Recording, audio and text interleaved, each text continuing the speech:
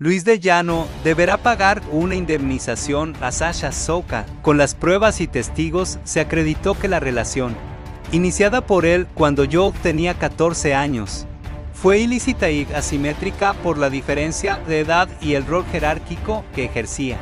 Dijo Sasha en redes sociales, aún falta definir cuánto pagará el productora la cantante.